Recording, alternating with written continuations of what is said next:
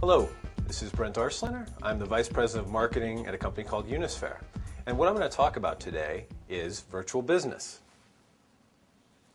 Many of you have heard of Second Life and some of these other virtual worlds that really predominantly have been successful for social rather than business purposes. So, what we're going to talk about is how virtual environments for business can help various divisions and organizations in your company. So, firstly, there's marketing. What's marketing's goal? Marketing's goal is to generate demand or a funnel of leads for their organization. Secondarily, sales.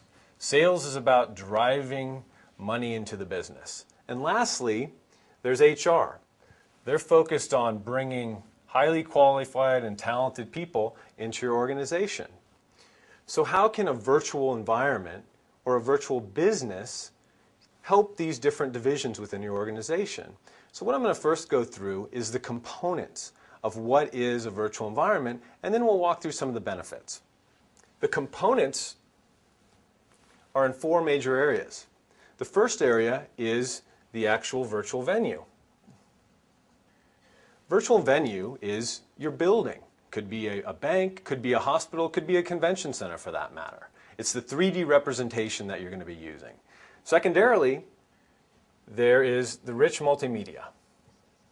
Rich multimedia could include audio, could include video, could include PowerPoint, and even animation. The third piece of the puzzle is collaboration. Collaboration could be via text chat, it could be actual voice communications, or we could use other Web 2.0 type of technology such as RSS and forums. Last component is professional networking.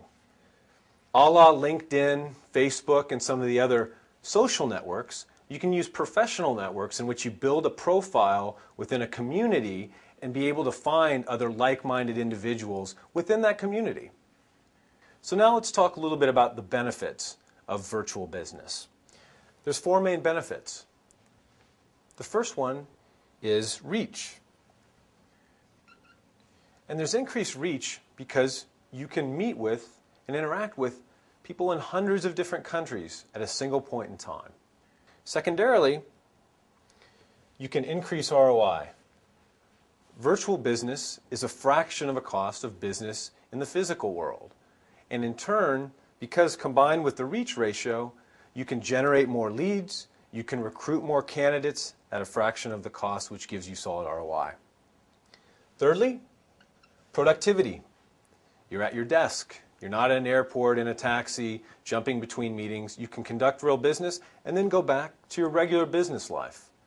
Lastly, there's increased intelligence. Within a virtual environment, you can learn about everyone that's in this environment. So, an example being from a marketing perspective, you know what white papers were downloaded, what webcasts have been viewed, what different types of collaboration took place, if that means voice or chat types of communications. Or from an HR perspective, you can use this intelligence to actually rank candidates based on how they reply to different questions and also the way that they have a, a really an interview within the virtual environment. So to tie it back together, virtual business allows marketers to increase more demand, salespeople to be trained to be more productive, and HR people to recruit more talented people for their organization. Thank you very much for your time today.